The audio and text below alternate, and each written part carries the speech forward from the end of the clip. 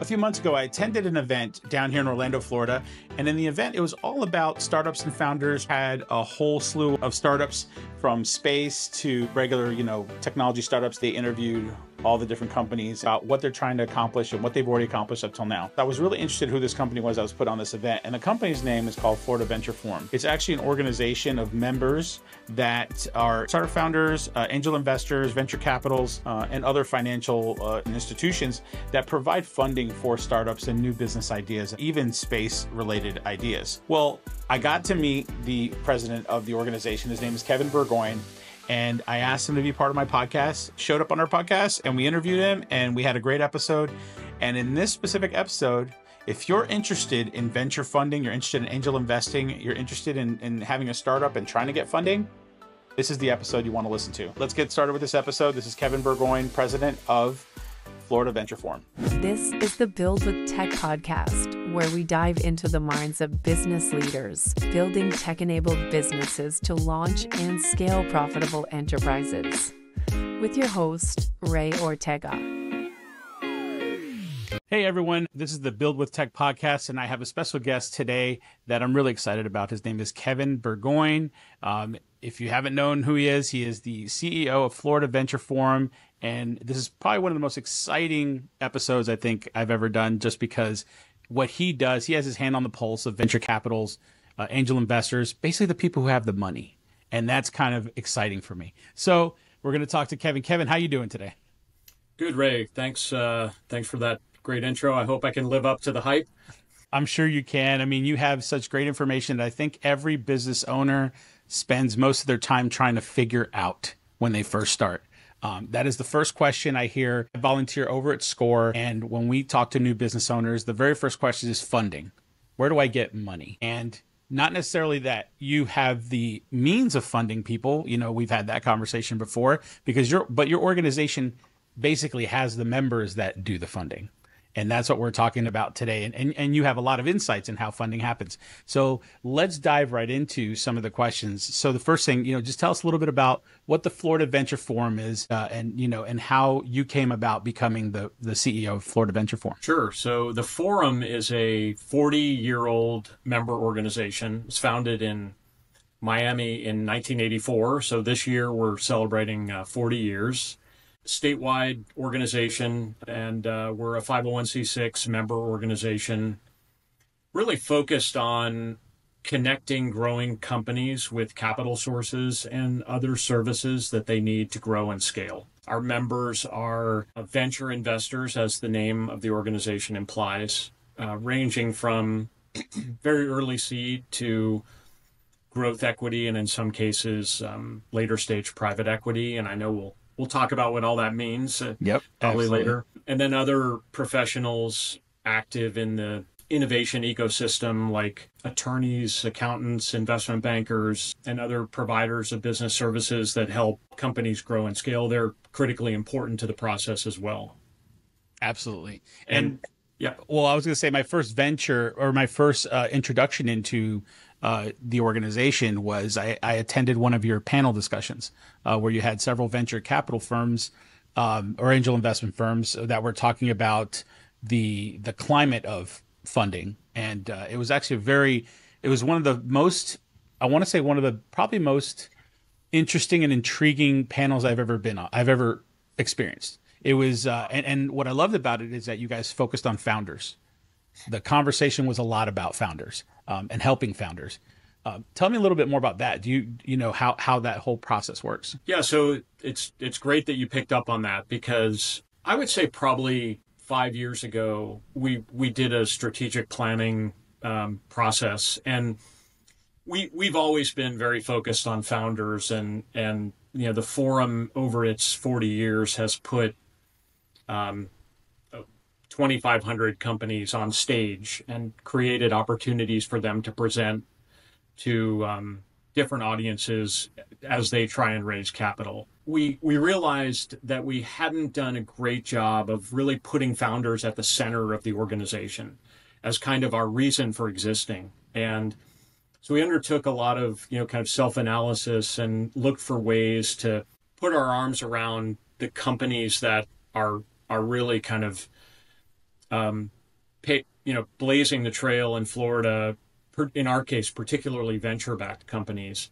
that over the years, you know, we realized that the forum has um, a treasure trove of alumni, which we call them, you know, companies that have present, been selected to present at our conferences, um, you know, going back 20, 30 years. And we realized some of the biggest names in Florida, you know, big venture back success stories presented at our conference, not I mean, before I joined the organization, and then went on to become unicorns and create lots of value for the state, uh, hire lots of people and you know do all kinds of really great things which you know venture capital in particular has a real multiplier effect. Um, a relatively small amount of venture capital placed into the right company can help that company accelerate and grow you know exponentially and that's the whole business of venture capital essentially. So we we really try in our everyday operations to be very founder focused and um, a lot of the educational stuff we do, the panels like you were talking about, we try and demystify venture capital as much as we can, put, you know, actual VCs on panels so that people can meet them and, and what it is they're looking for, how best to approach them.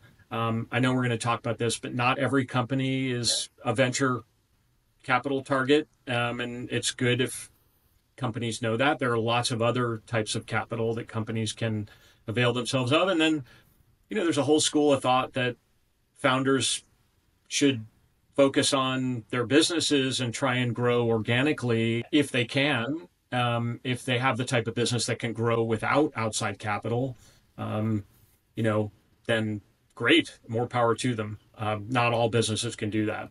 Yeah. What would you say? So you had talked about earlier how before you were there, um, and when you said that, it made me think. Uh, you know, how did you get there? How did you get to the Florida Venture Forum? I'm I'm a Floridian. I grew up in in Southwest Florida and went to UF undergrad, and then like a lot of kids, I I left the state, lived in New York and California, worked in the um, in the corporate world in the media and telecom industries. Um, actually, one of the few people who left Florida to work for Disney. I moved to New York to work for Disney. Oh wow, and that's that's a first.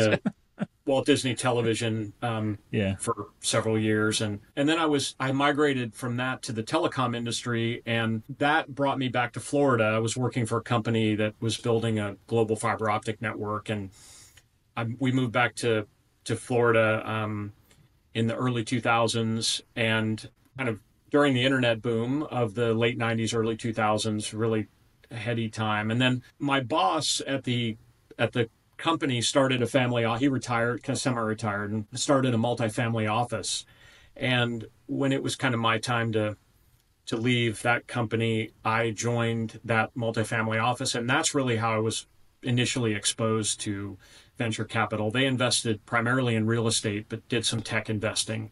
And through being with the family office, I became aware of the Florida Venture Forum and met a couple board members. And it just coincidentally, they were looking for a new um, leader of the organization. I threw my hat in the ring and was lucky enough to get it. It's the it's the best job I've ever had. I've been doing it for a little over ten years. Um, I didn't plan to do it this long, but we have such a great membership, and I work for a you know terrific board and we do kind of a happy thing every day, which is help companies grow. So it's it's just a you know it's a really great organization, and I'm a little biased, but uh, I, I think other people would say the same. Well, and the reason why I ask that question is because you know a lot of people like myself are huge uh, proponents of entrepreneurship and building businesses, and you have like the dream job. Like I, I really, uh, I, I you know, it's one of those things that if you love entrepreneurship, that's where you want to be, you know, and uh, so that's why I asked that question because it's, I know a lot of people are looking uh, for opportunities like that. Like you, you run into people that are like, I'd love to work at a venture capital firm, I'd love to work at an angel investment, you know, place or whatever. But you are an organization that gets to speak to all of them and gets to work with all of them, which I think is actually pretty cool and, and a really great, great story, how you got there and everything. Tell me a little bit about venture capital what is that? Yeah, so venture capital is a form of private equity. And private equity is basically money invested into privately owned, non publicly traded companies. Um, and venture capital is a, a, particular type of private equity that funds uh, startups and early stage and growth companies that tend to have very high potential and are fast growing companies. Um, the companies basically sell a part of themselves, uh, which is where the equity term comes in. And they use the VC's money to fuel their growth. Um, it's important to add that VCs don't just contribute money to a company, they also contribute contacts, expertise, um, other forms of guidance.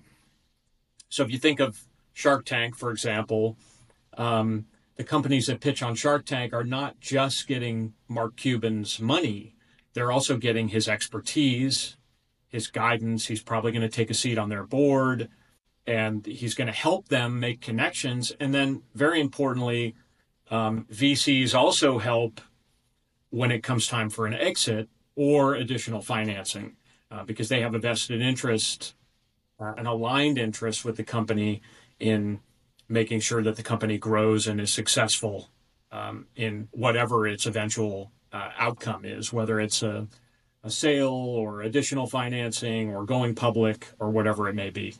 What you said is absolutely true. Like you have to invest like 10 companies and one of them will hopefully make enough money to kind of make up for all the money lost on the other ones.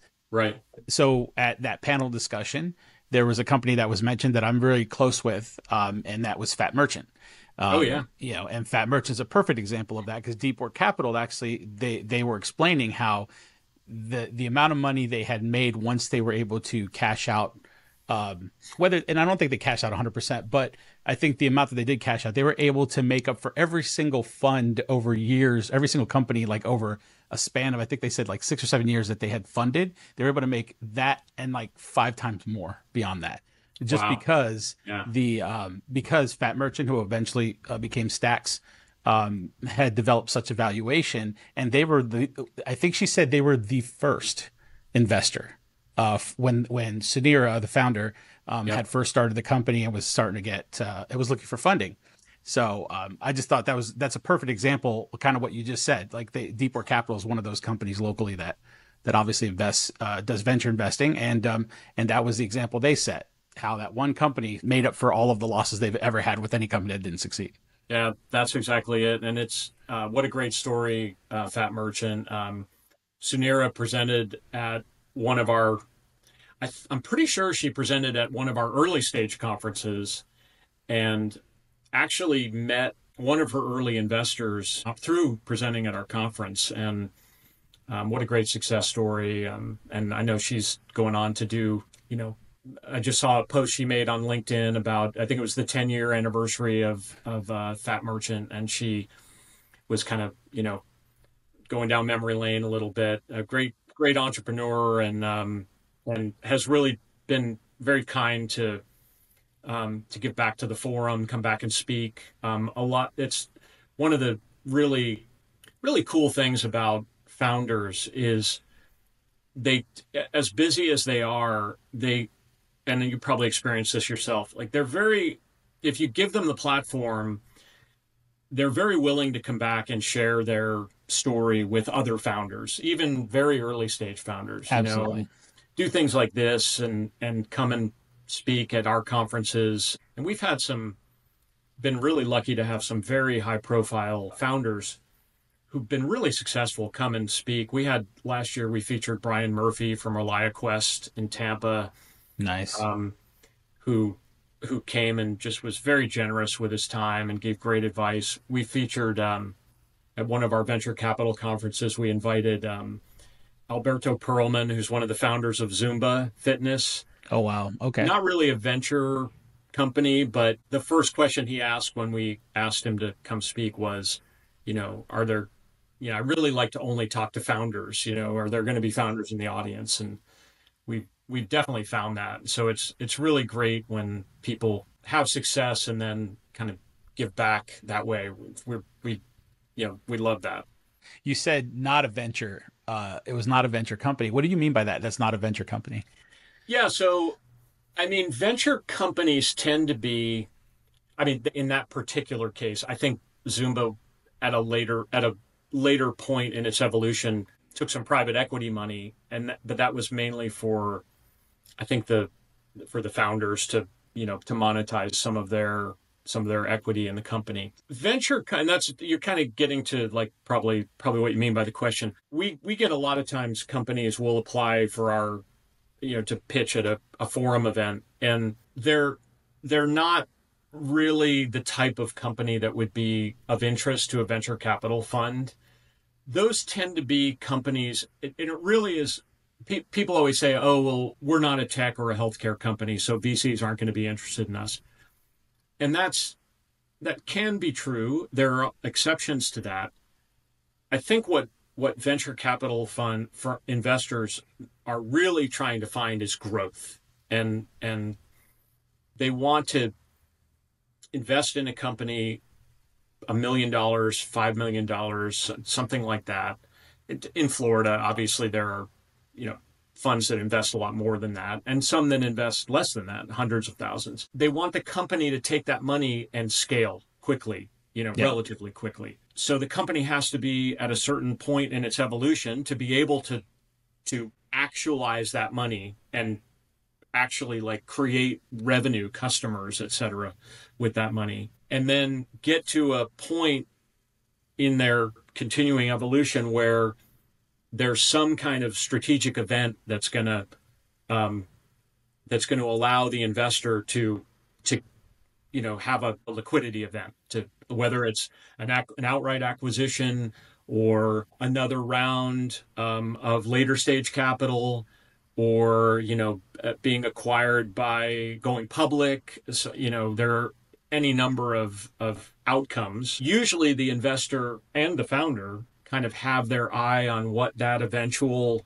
path forward is. You know, like some companies are just kind of naturals to be acquired by a strategic investor, like some other big corporation. Some are going to scale and go public. So some are just going to keep growing and and you know the the founder the investors might just stay in, you know, after you know those those are the you know really nice ones where they can have a long run as as owners of the company. For the audience i just want to clarify what you're talking about because it, it, can be very complex um, as you go down the line of each round of funding.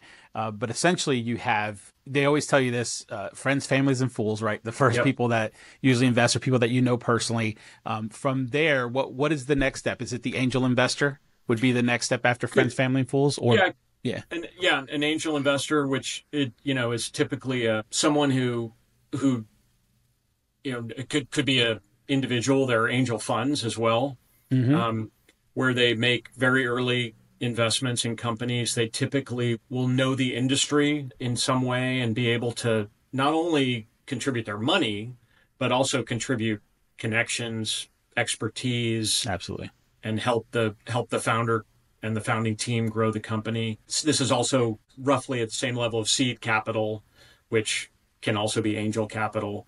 Um, yeah, explain that. Explain the seed capital. Why why is it called seed capital?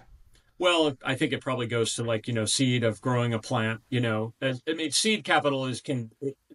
There are no hard black and white lines here. People can call themselves angels and they invest in seed rounds. There, those tend to be kind of the early rounds of institutional capital. So the first capital other than your uncle Joe or, you know, Aunt Jenny, you know, who give, just gives you money because they love you and they believe in you. You know, these are people who've really evaluated, they're, you know, either professional investors or it's, it's a, a sideline for them in the case of a lot of angels. They invest very early and they will often, you know, we have most of the major angel groups are in the membership of the forum and they're and and also venture funds will do early very early stage investing as well. Not all of them but some.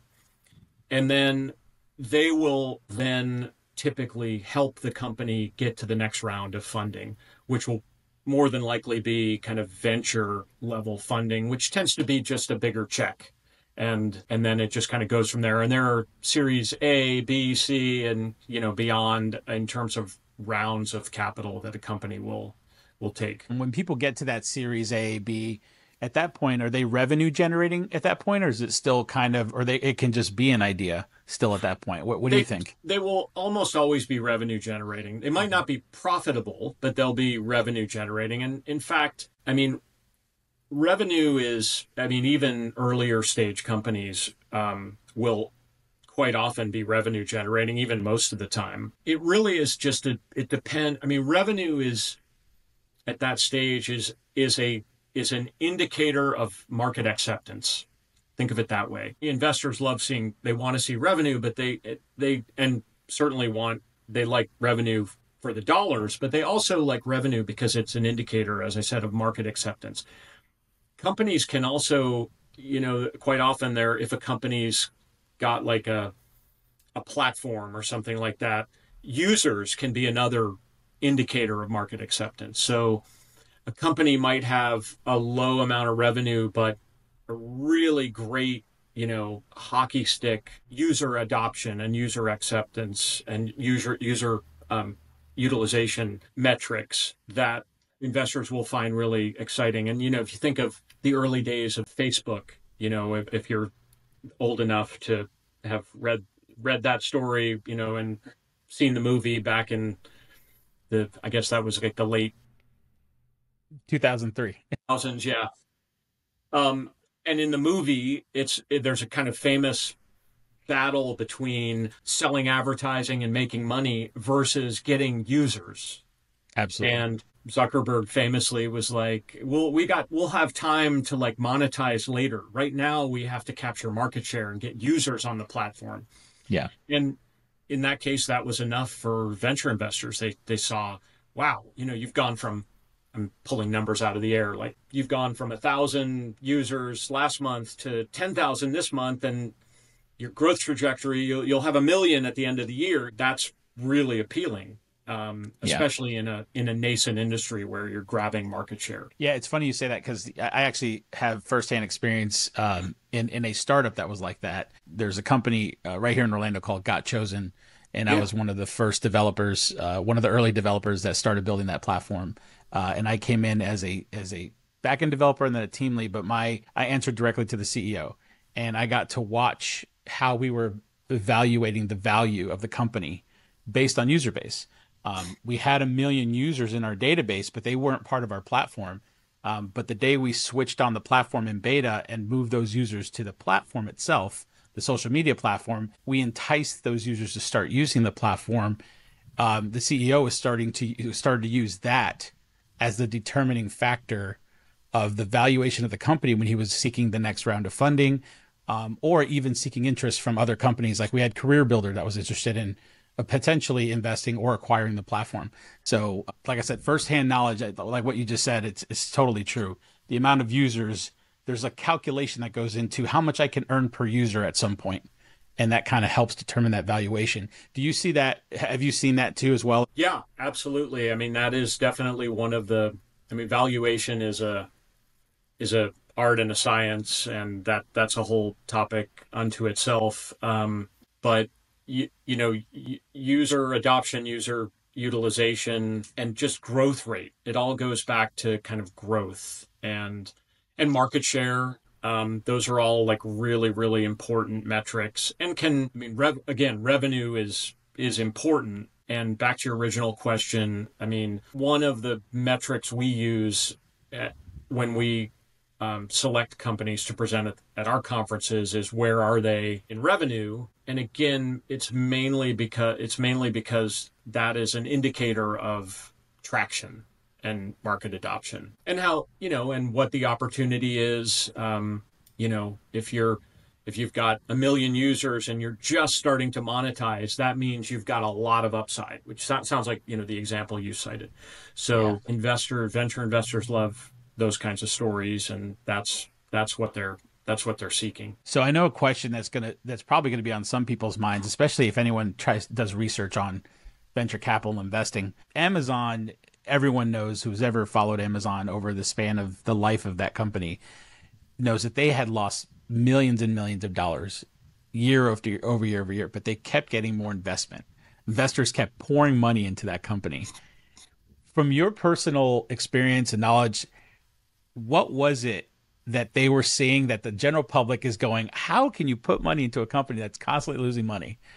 You know, what what would what would you say was the kind of thought process behind that? I don't know a lot about the the early days of Amazon in particular. I, I do remember another one which was now is ubiquitous, but there was a period where it was really tough going, which is Netflix. You know, Netflix in mm-hmm. the early days had you know, an uncertain future, and and you know, it's it's really an, another interesting story. I think again, it probably goes back. I mean, the case of Amazon, it was. I'm old enough to remember when Amazon started. Your younger, our younger uh, viewers will not remember this, but they started selling books. It was books only uh, initially, and I think the idea was that books were, because of the way the postage rates work with printed material, they were cheaper to ship and they were easier to ship. And it, you know, just allowed kind of Jeff Bezos and the early team to be very focused. And then they kind of built the platform and proved out the model and then started adding product categories. So then I think they migrated in, if I remember correctly, into like electronics and other things. And then you know, obviously became what it is today. But that was probably a case of like also capturing market share and showing, proving out the concept. Obviously, I wasn't in the room, but I yeah. can only imagine like the pitch was probably like, okay, here's our growth rate selling, you know, books and this second category. And we added this other category and immediately the growth rate got even better. And so the number of product categories that we can add is almost infinite to eventually i can i'm imagining that this is probably what happened. They probably said eventually you'll be able to just we'll have warehouses everywhere and you'll be able to just buy your groceries and we'll be able to deliver them to you overnight.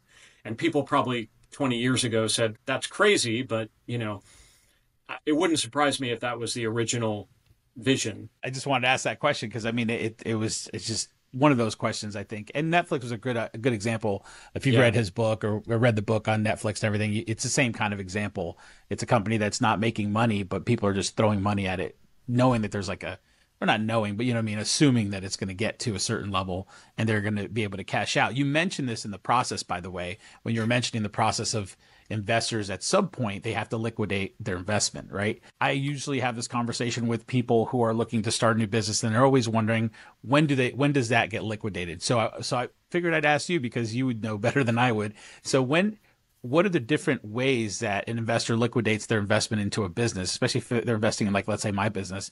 How do I mm-hmm. know how how can I expect them to get liquidated from from their investments? Well, sometimes it's a subsequent round like so, a, a later round of capital can take out in early investors at a new value, a high, hopefully higher valuation. So they they you know have a great exit. It's called. Sometimes it's an acquisition, an outright acquisition, where um, company will sell itself to a bigger company or go public or you know have some other type of liquidity event where there's basically a new set of owners or a new owner if it's if it's just one entity buying the company and it. Um, all the people that are on the what's called the cap table of the company get kind of monetized. So if you own you know uh, one uh, of the company and when you bought in that one percent you know you paid a hundred thousand for that one percent um, and the new valuation of the company is some something significantly greater, your 1% is going to be worth a lot more. And someone is going to pay at a new valuation a much higher price and you're going to do very well on your exam, you know, your investment. So imagine going back to Amazon, if you, in the very early days, if you had bought 1% of Amazon, a, a re- normal investor might have been able to do that. Um, today, that would take billions of dollars, right, to to own one percent of Amazon. So yeah, that's that's the uh, that's kind of what everyone hopes for, and and you know that a lot of times exits are also driven by the the structure of a fund. So different funds have different the- thesis for investing. So some of them, the thesis can be by stage, like we only invest in early stage, and here's our definition of early stage. Or we only invest in growth stage, and here's our definition of growth stage.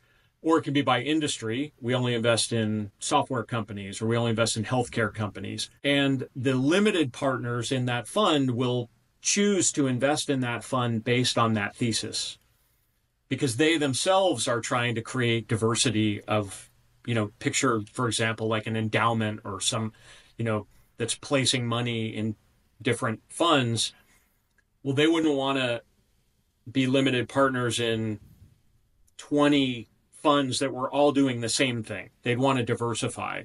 So they'd yeah. want to have some exposure to the early stage, to growth stage, to women owned companies, to sustainable companies, to um, you know a, a, specialty fund that's just investing in clean tech or you know whatever and they'd have a very diversified they diversify their money that they put out into the market and they have a time horizon so funds will often uh, you know say you know our goal is to invest and find an exit within a finite period of time and so that it, it really can run the gamut but that's what drives a lot of times the exit period. As a business owner, if I'm sitting there and I'm listening to you, what you just laid out for us is very similar to like demographic uh, information that you, when you, if I'm going to look for a customer, there's certain qualities of that customer that I need for them to be a customer of mine, right? To fit, to fit the product market fit, so to speak, right? And in this case, that's what you just mentioned. It's kind of like I need to have a product market fit of what investor am I going after? What's, you know, what kind of industry, like you said, what are the de- general terms and conditions they're looking for? Um, how would a business owner get that information, find that information? How do they research to get to be able to find who those people are? Yeah, it's a great question. Um, so we try and be a resource for that here in Florida. Um, uh, we we have a, a website called flinnovationconnect.org, which is um, it's kind of an eco map of the innovation ecosystem in Florida. And we have a list of investors on there. You can, you know, the other way to do it is just kind of come to events like ours, and there there are organizations all over the state that that help um, founders identify potential investors. It's really important, and uh, investors talk about this a lot, which is for a founder to be very specific about finding the most likely investors for them. So what what doesn't make any sense and what's a real waste of time is for you're running a software company and you spend a lot of time sending out emails and inquiries to venture funds that only invest in healthcare. Like that's a waste of your time, it's a waste of their time, or you're looking for you know half a million dollars of seed capital and they only they like the fund likes to write 5 million plus checks. You're just not going to be a match. I mean, if you get a warm intro to somebody and they're willing to like talk to you and give you some advice, great. They may connect you with someone they know. Warm introductions are terrific.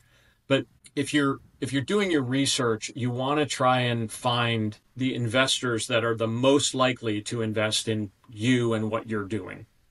And it just there's no shortcut to it. You just have to do the research. The good yeah. thing is most venture funds um, have websites, and they literally put on their websites what what their investment criteria is, what their thesis is, what they invest in, and more often than not, they liter- they actually will. You can submit a inquiry to them, um, a yeah. you know an executive summary and a, a, your deck, and they'll take a look. I mean, they I know they do look at um, at those. You know, they typically have associates or you know analysts who will look at what comes over the transom, and that is um, that is that does that is how investments happen quite yeah. often. You know, it definitely happens. I definitely, I, I definitely want to second what you said about physically going to a conference. Uh, your Florida, the early venture conference you guys just held recently. I mean, that was an amazing conference. I, I went uh, and I got to meet so many people, so many uh, inv- potential investors that I would never have met. Like I would never know who they are or what they do unless, like you said, unless I went online, did the research, try to find them. But the best part about it, I was able to talk to them and just listen to what exactly they're looking for, the type of companies they they're trying to invest in. Um, and then you had like a sit down area where you could just sit down with them and chat. I mean, conferences are the are one of the best things. It was probably one of the best, like I said, one of the best conferences I've been at. You know, the the, the early venture one, and I love the format. And this is just me, just uh, enjoying. You know what I had, what I experienced was um, you, when you guys did the pitch rounds, the the pitch yeah. sessions. It was amazing because you're sitting in a large room, and all of, that, of them are sitting there too.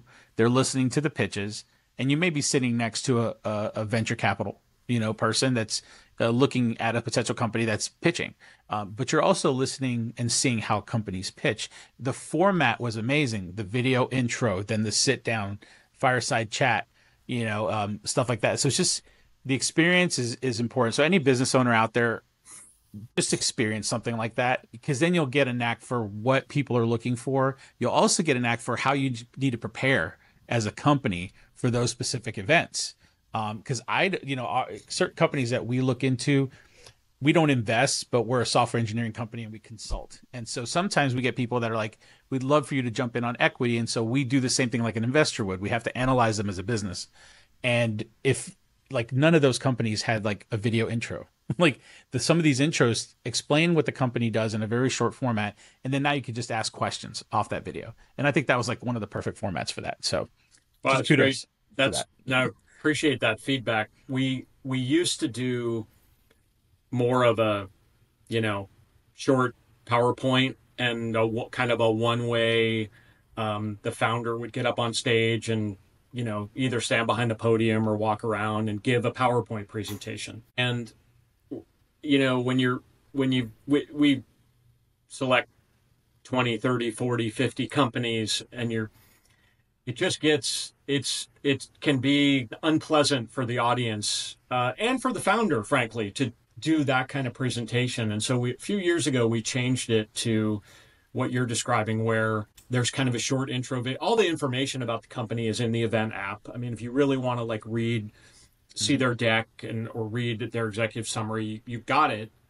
But we wanted to make it more free form so there's a short intro video. Then the company sits down with a real venture investor from our membership, typically, who has educated themselves on the company. They understand, you know, what their business is, and it's it's kind of like I call it. We call it like a a positive Shark Tank. There's no gotcha. Yes. Like the the the, the interviewer is really trying to help the company tell the best story possible. Yes. Not not BSing, but trying to like put their best face forward and genuinely having a conversation about the company, which if you're a founder is so much better because you're yeah. you're able to like you know, having a conversation is so much better than a one-way um, yeah. just PowerPoint presentation. It's so much more watchable. So it's it's one of the best innovations we've made. So thank thanks for that feedback. It just makes for the audience so much better. Yeah, I was going to add to that because there was a company that, you know, that, like, you guys still asked the hard question, but it, well, you're right. It was a positive way of asking that question. Yeah. There was a company that had demonstrated, essentially, they were using the term AI and because everyone says AI. If you just throw AI out there, people are going to invest right. in your company. And um, I forgot who was the panelist that the, the or the person that was interviewing. They dug deeper into what the company was actually doing, and at the end of the day, what it was is they were using a front interface to essentially get the business, but then there's people in the background actually doing the work. And really, there wasn't AI yet. It's being built, but it wasn't there yet. So that was, you know, for if I was like an investor, I'm like, I'd be like, thank you. thank you. Cause I didn't, I thought they had AI and I was about to invest in AI, but it, there is no AI yet. And it was just great, but it wasn't a negative way. It was very positive, allowed the, the, the, the founder to kind of explain what they're doing and so you can sit there and say, okay, right now they're probably not investable, but maybe six months down the road they may be, you know, um, yeah. and it will give you the opportunity to actually see them. And and yeah, so that was that was that's a great. Uh, that was one of the moments that I remember very cleanly. Like if this was a Shark Tank, it'd be like, oh, you have no business. Why are you here? You know, but you guys didn't do that. You continue yeah. to ask to say, oh, okay, so you're working on this and you're trying to establish this. So I thought that was really great. And and also you guys uh, brought in education. Like a, a, lot of people were from education institutions, students who had concepts and ideas that you guys gave them the floor uh, to show their ideas. Which, how many investment groups actually do that? I mean, I, I think that that's a. I thought that was a really great thing that you guys did uh, at that event. So. Oh, thank you. Yeah. yeah, you you touched on a couple really good points I want to come back to, which are one, that format also allows people to see VCs in action, to see them actually asking questions of a founder and having a conversation and learning from the type of questions that a, that a real live VC will, would ask, which is the point you made. It if you're a very early stage founder, seeing another founder up on stage talking about their company can be very informative for you, particularly if it's someone who's a little farther along and has had success. You can, it, you know, you can really learn a lot. And so that's why we, one of the other things we, we do at all of our conferences is we have a founder rate that's, I mean, uh, we recognize our, our we do two big conferences a year the Florida Venture Capital Conference, which is coming up in March of 2025 in Miami. And then we do an earlier stage conference, which is the one you're talking about. They're not cheap tickets. I mean, uh, you know, it's hundreds of dollars to come to our conference. And we, but we try and make it accessible for founders. Some, some entrepreneur facing organizations have a business model that frankly relies on charging founders money and we try not to do that like we we try and yeah. make it very if you're selected to present at one of our events there's no charge we don't the forum doesn't take any ownership. You literally don't the founder who comes to present doesn't pay a penny. That's awesome. And even if you're not selected or you didn't even apply you can get a founder rate to attend our conference. And for, really for the reason that you just talked about or we're talking about which is for the education part of it. Um, and rubbing elbows with VCs and and other professionals. You know, it's not just give a quick shout out to you know our other members, lawyers, accountants, investment bankers. These are very very important people in the innovation ecosystem and in the venture ecosystem. Even VCs rely a lot on those professionals for deal referral um, and how a company should kind of proceed and put their best face forward and approach investors. Um, so I always tell any founder that I talk to, like, get the best advisors you can as early as you can. Set up your business from day one so that you have the proper, you know, accounting practices. Your books are in order. You've protected your IP. You know, your your cap table is clean and you know, so that if at some point in the future you you do get an investment from a venture fund, there's no you know ticking time bombs that are gonna wait a sec. Where, where are your financials for the past three years that you've been in business? Oh, you know, we didn't we didn't do them, or they're in a shoebox. you your uncle Fred gave you uh, you know hundred thousand dollars to start the business. Do you have an agreement with him? Oh, you know, we we never did that. Well, guess what? Uncle Fred is going to want his money back. doing doing that from a very early point and and getting good advisement is is really really important if you're serious about growing a company. And that leads me to my next question. Actually, that's a great segue. The type of founders, like the type of founders that you think, or from your experience, or even from the group as you've worked with them, what are the kind of attributes that they're looking for in a founder? Yeah. So there's a so the there's an old saying or the, a saying that you'll hear, um, which is VCs invest in the jockey, not the horse. So that's one thing. Like successful founders are just good. The founder is critically important. Like, and a lot of times, I and I've heard seen this and heard this. People, investors will say, "I don't love this business, but I love the founder," and they, you know, you know because you're an entrepreneur like not everything people do works um, but maybe the next thing's going to work and we you were talking earlier about you know Suneera from Fattmerchant. Like i'm sure you'll agree with me. I don't care what she does. I'm i want to look at it right? Because yeah. she's going to be very she's just the type of person who's going to be successful. And that that is really really important. So back to the qualities. I mean you, you know there's a book uh, everything i need to know i learned in kindergarten like it, it really i mean you got to be smart you've got to work hard you've but you also have to be honest You have to be coachable. That's another really, really big one. I've seen it firsthand. We form investor only selection committees to evaluate the companies that apply to present at our conferences. And, you know, there are times when people will apply and I will hear hear investors say like I kind of like what they're doing but this guy or gal is just not coachable. They think they know everything and th- this brings me to a point that we haven't covered which is really important. Investors, venture investors in particular, they don't just want to invest money. And if you're a founder, you don't you don't want just money. You want you're you're also getting advice, wisdom, brains, contacts. So, you know, think about if you're a founder and you've got two investment offers, one of them is from somebody that, you know, you kind of like, but they don't know much about your industry or your business and the other one you really vibe with them and they've inve- they know your space really well.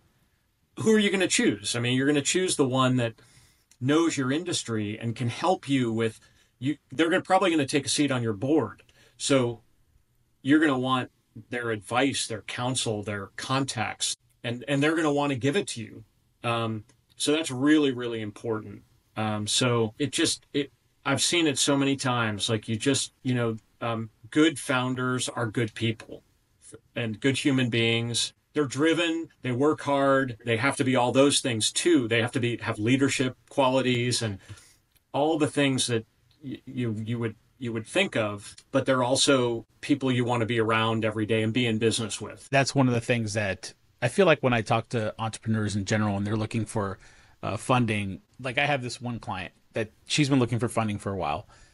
There's people that she resonates with very, very well. They understand her industry. Um, they may not be able to invest the same as this other organization that could give them more money, but has doesn't have contacts, doesn't have like it's it's, and you could just tell there's already friction in the conversation. And and I'm trying to convince her, you're going to be working with these people every day, basically. Yeah. So you need to like them and they need to be able to like you and you need to be able to trust them. That's a huge thing. You need to be able to trust each other. Um, but that's, so that's a, you know, like you said, that, that is probably one of the, the biggest things.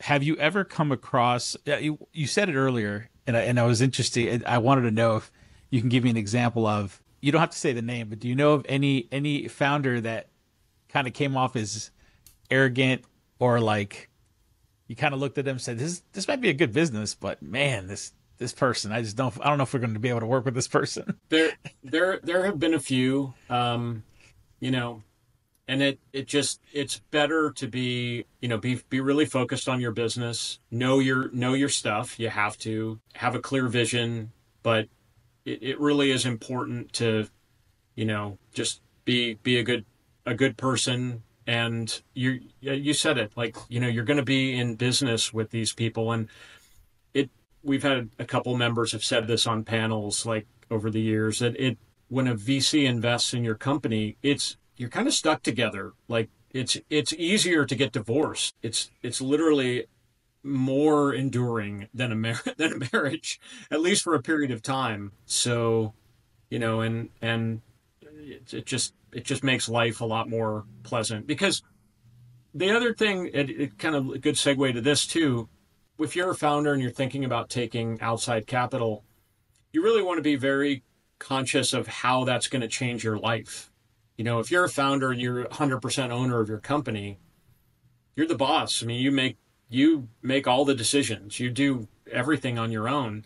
If you take someone else's money and they buy equity in your company, even if they just buy 1%, 2%, 5%, they're probably going to be on your board you're gonna in a way you're gonna you're definitely gonna be in business together and in a way you're gonna work for them you know yeah. they're probably not punching you know you're probably not punching a time clock but you're you're definitely reporting there's a reporting structure when you have a board. And and you know so it, it's going to change your life and you should be aware of that and make sure that that's you're, that you're okay with that. It's an important distinction because that's the I, I would consider that being um, one of the misconceptions. We were talking about misconceptions of uh, of raising capital, and I think one of the misconceptions that people do have is if I rate like they're they're not a decision maker in my company. They're going to give us money, and you know, but they're not going to be a decision maker. So therefore, I could do whatever I can I, I want to do with the money, and I don't have to answer anybody, and yada yada yada. And the reality is, like you said,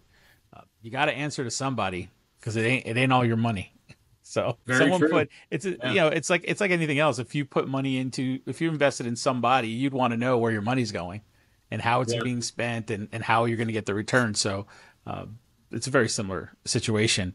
But you're you're also if you have a if you have a great board you have a treasure trove of of wisdom and contacts and you know potential you know if you if you assemble your board correctly um, it's it's just really really valuable and can help the business get you know can be in, in critical to getting the business to the next step at the conference that you were talking about, we featured um, a woman named Anya Freeman, who's running a company called Kind Design in South Florida, which is making 3D printed seawalls and and um, really kind of addressing uh, climate change and sea level rise, and uh, really interesting company. But Anya was, uh, I don't know if you saw her speak. Uh, she spoke at the lunch, but she um, she d- just talked a lot about you know how much she re- how much she relies on her board and how invaluable they have been to helping the company grow, bringing in other investors, making contacts for major customer wins and things like that. It's just really really critically important. And even if you're not taking capital, another piece of advice for any founder, form an advisory board, even even if it's an informal one. You know, many years ago when I was with the family office, I got involved in a.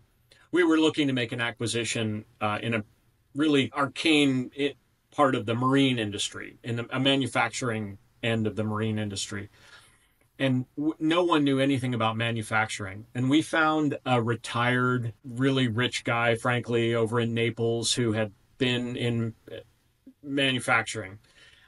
I think he was referred by a lawyer or something, but he he basically kind of joined an advisory group helping us evaluate this acquisition and was going to put his own money in as part of it. And we just learned so much about manufacturing from this this guy.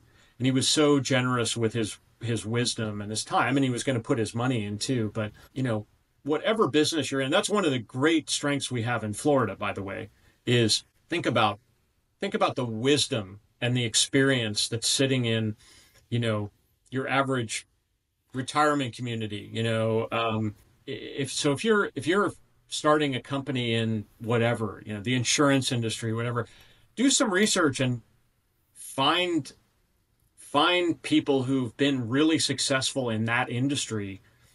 They're probably sitting in Naples or West Palm or or Orlando or wherever, you know, playing golf and or fishing or you know, kind of enjoying retirement, but you never know. I mean, if nothing else, they could be a mentor and um you know, but if you if you can cultivate the relationship, maybe they can, you know, refer clients or refer a potential investor or, you know, it's it just it's a it's a resource we have here, and um, I I think we don't take enough advantage of it uh, in Florida. Absolutely. You actually uh, helped me segue to the next question. so, um, where, where do you see the landscape of Florida investment in the next five years? I'm really bullish um, on our state. It's you know what's happened in Florida. I mean, Florida's always been a, a pro business entrepreneurial state. It's probably just the nature of of Florida. Of, you know, carving a civilization out of ranch and swampland. I mean, Yeah, exactly. Um, it just and the state is all about growth. Um, it's also one of our biggest challenges, right? So in in terms of venture, I mean, the past few years have been really, really great for venture capital in Florida. We still don't get, you know, our uh, there's room to grow, of course, um, but you know, all the all the it's fertile ground. I mean, there are a lot of really serious players in venture who have moved here and because of the notoriety that Florida has achieved over the past few years in particular. The other thing that's happened is maybe five or 10 years ago, a Silicon Valley venture fund might not be covering Florida. Mm-hmm. But now I think every fund in America that invests, you know, uh, anywhere in the country has somebody covering Florida.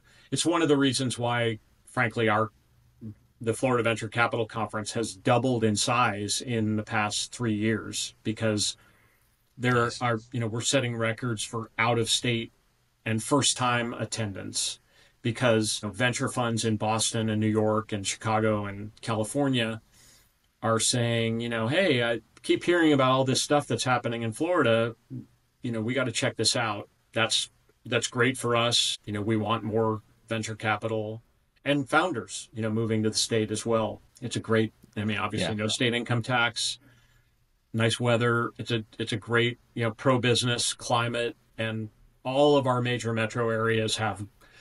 the other thing that's happened is the entrepreneur support infrastructure has grown, you know, in, in my time with the forum has grown tremendously you know, not just on the funding side, but on the mentoring side as well. So every one of our universities has an a, uh, entrepreneur center where, you know, in most cases, even anybody from the community can can go there and get advisement. You mentioned SCORE. There's, um, you know, organizations all over the state in every market that that you know form cohorts and help uh, help founders kind of package their, you know, their uh, work on their business plan and package their company to put their best face forward to investors. And so all of that is relatively new in the state yeah. within the past five to 10 years. I can attest to that. Last week, I sat in a, uh, I represented SCORE in a roundtable discussion with a congressman for government contracting for small businesses. I did last week. I sat in this roundtable, and it was amazing the amount of resources and efforts that are being put towards helping small businesses, uh, helping entrepreneurs, founders. Uh, like you said, not only build out business plans, but learn how to pitch, uh, and not just in tech markets, but also how to pitch to government um, and things like that. I mean, even in your even in the uh, the the early venture conference, you guys had a whole space section, and um, we've actually done we've actually met with several of those companies that were in your uh, in your on the section where they were pitching a lot of space ideas and thoughts, and so and we and the amazing part is we were able to see a lot of potential partnerships from those groups. I mean, just one company was a satellite company, and the two other companies that went after him were things that could be attached to the first guy satellite company. So so we so we were so we were able to meet with some of those and say, hey, you know that you could work with you, like you, you can work with this guy, this guy could work with that guy, and you guys could all kind of form one big partnership here. So um, so like I said, there's a lot being invested. That has happened at the forum where we've selected companies and the founders met at our event and then eventually they do something together. Uh, that has happened as well. So yeah, there's going to be an announcement coming soon where we're involved in it, where we're going to be working with some of those satellite companies in the in the oh, near cool. future. So that's great, uh, which I was excited about. Yeah, and I owe it all to your conference. If I did, if I didn't attend that conference, I would never have met these people. So it was actually pretty awesome.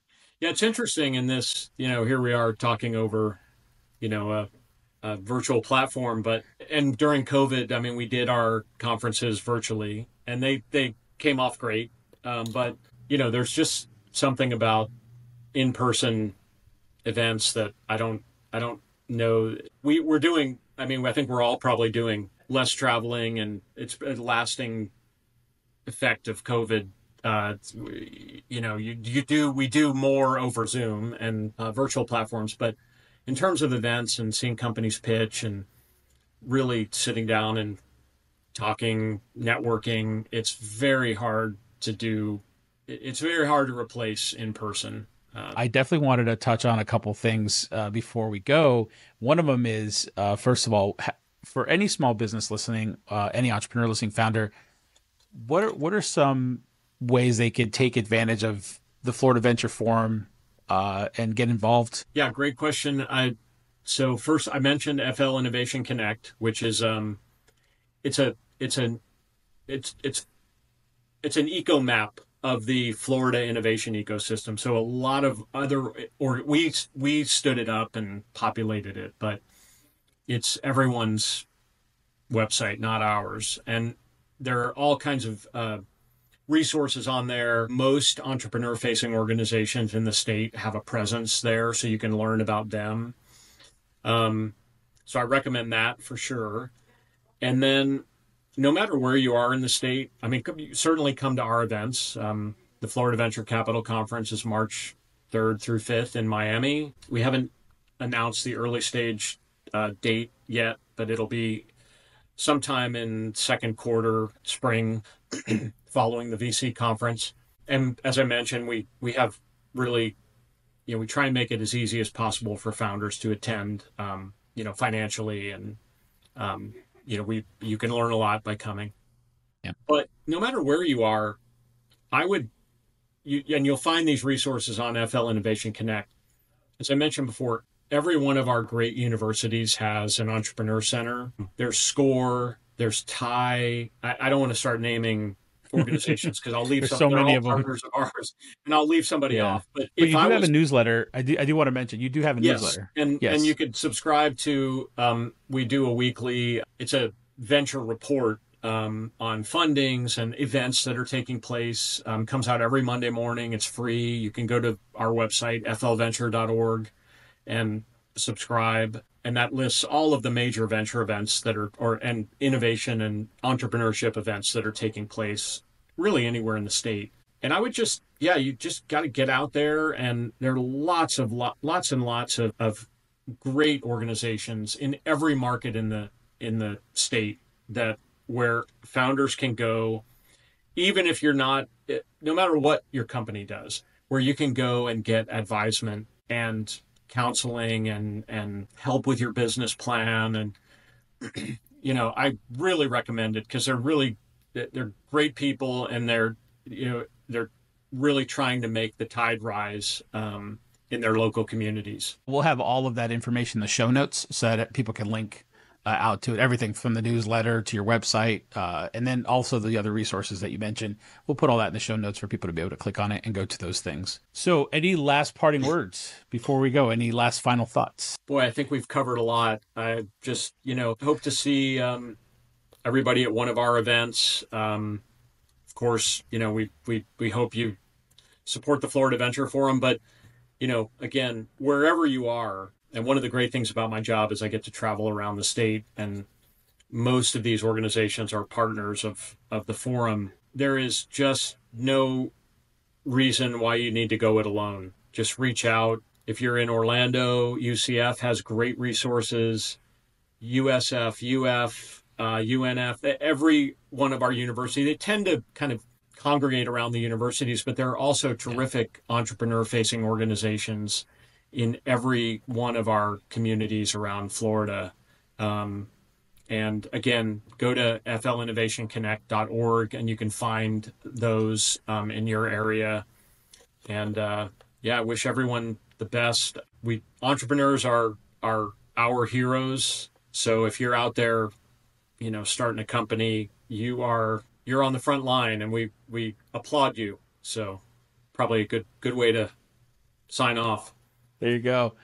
Hey, Kevin, I appreciate the time. Uh, definitely, uh, everyone watching, um, uh, go to uh, obviously like, like, subscribe, click all the buttons so you can get all this information. Uh, and uh, and I look forward to seeing you guys in the next podcast. And Kevin, again, I really appreciate you being here. A lot of information. I really would love to get you back and do a deep dive. Um, probably confuse a lot of people, but uh, I think we can make it work. So, but All I appreciate it. Thanks, Rey.